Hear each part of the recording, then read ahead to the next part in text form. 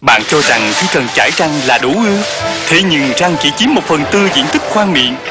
Vậy chúng ta phải làm gì với những vùng mà bàn chải không chạm đến được?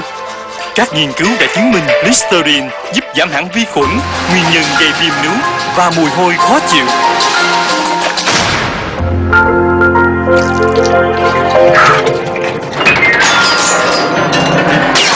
Hãy bắt đầu bằng việc đánh răng và kết thúc đầy đủ với nước súc miệng Listerine.